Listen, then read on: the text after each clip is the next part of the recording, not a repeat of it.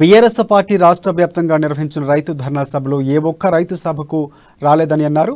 ఇక బీజేపీ రాష్ట్ర కార్యవర్గ సభ్యులు నిజామాబాద్ అర్బన్ నియోజకవర్గం ఇన్ఛార్జ్ ధన్పాల్ సూర్యనారాయణ గుప్తా నిజామాబాద్ జిల్లా కేంద్రంలోని ధర్నా చౌక్లో నిర్వహించిన రైతు ఘర్జన సభ అటర్ ఫ్లాప్ అయిందని అన్నారు. రైతులే కాదు కదా అంతకుముందు రోజు కూడా బీఆర్ఎస్ పార్టీ కార్యాలయంలో ఎమ్మెల్సీ కవిత మంత్రి ప్రశాంత్ రెడ్డిలు అందరినీ హడావిడి చేసిన ఆ ధర్నాకు ఎందరూ ఎందుకు రాలేదని ప్రశ్నించారు. బీఆర్ఎస్ పార్టీ రైతు ధర్నా కార్యక్రమం చేసింది. మొన్న ఎమ్మెల్సీ కవిత గారు జిల్లా మంత్రి ప్రశాంత్ రెడ్డి గారు హడావిడిగా ప్రెస్ మీట్ పెట్టి రాష్ట్ర వ్యాప్తంగా కేంద్రము రైతులకు అన్యాయం చేస్తుంది.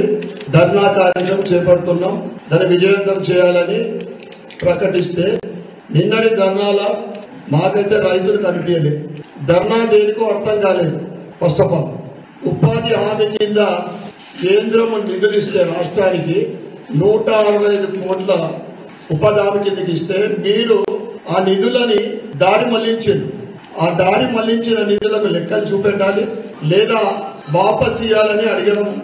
దాంట్లో అలా అడగడం తప్పైతే కాదు. నిధులు మళ్ళించారు. వాళ్ళు అడుగుతా ఉన్నారు. దాన్ని వక్రీకరించి కల్లాలకు వెచ్చించిన డబ్బులు వాపస్ అడుగుతున్నది కేంద్రం అని.